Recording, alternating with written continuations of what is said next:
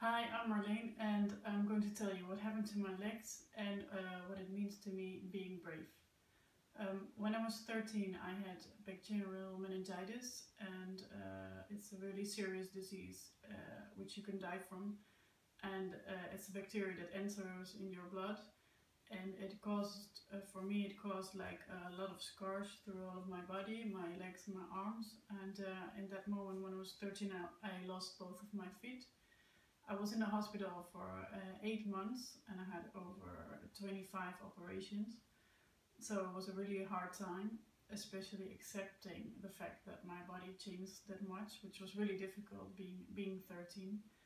And uh, now I'm 37, I'm still struggling with um, some of the things that happened then. And I recently um, had my uh, left leg uh, amputated last year in May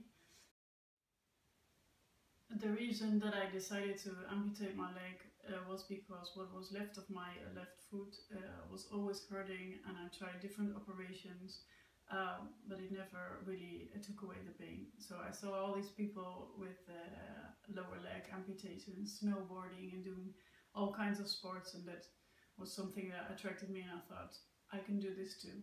So it's now been over nine months that I had my leg amputated it's not uh, been an easy ride, but uh, I'm I'm happy where I am now. I'm, I'm able to walk, I'm able to do all the daily stuff, I'm able to ride my bicycle and even skied for two hours, and uh, so I can't complain.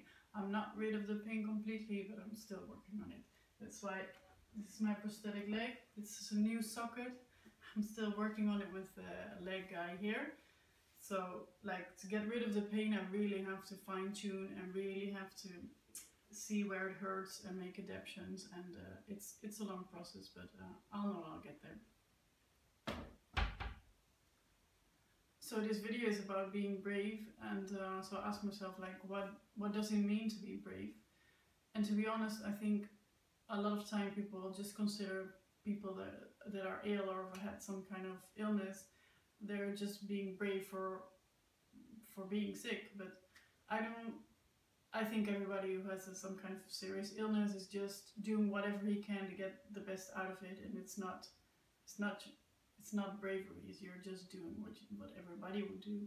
So I don't consider myself brave not even for deciding to amputate my leg. I do consider myself brave for being for deciding uh, to be vulnerable to open myself to let show people what I'm going through.